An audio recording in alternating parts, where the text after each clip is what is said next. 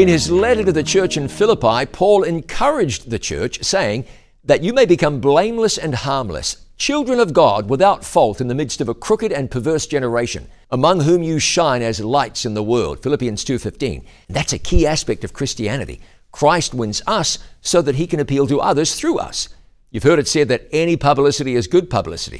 Of course, that's not entirely true and definitely not true for the gospel. People can argue with your beliefs, they can argue with your choice of church, but they can never refute a consistent Christian life. Christ has called you to shine as a light in the world today. You don't have to know how God will use that, you just have to shine. And if you invite Jesus to live his life in you, you'll shine brightly. Let it be said of you, that's someone who lives for Jesus. Even if you're imperfect, your witness will shine. I'm John Bradshaw for It Is Written.